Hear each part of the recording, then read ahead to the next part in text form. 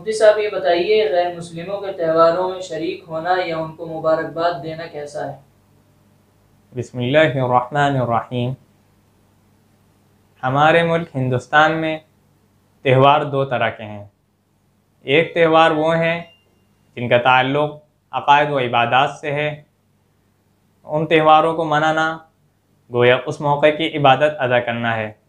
ऐसे त्यौहारों में शिरकत करना जायज़ नहीं। क्योंकि उन त्यौहारों में शिरकत करने से आपके शिरक में मुबतला होने का पूरा ख़तरा है।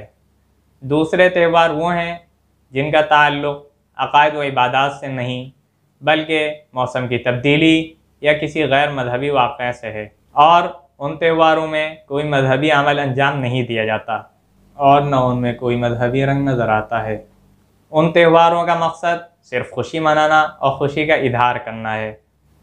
ज़रूरत हो तो ऐसे त्यौहारों में अपनी शरीयत का लिहाज रखते हुए शिरकत करना और मुबारकबाद देना बाईस गुना नहीं।